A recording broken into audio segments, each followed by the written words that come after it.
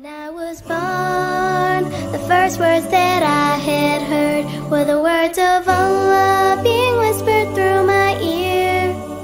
And as I felt Allah's presence in my soul, that day Islam took me in its fold.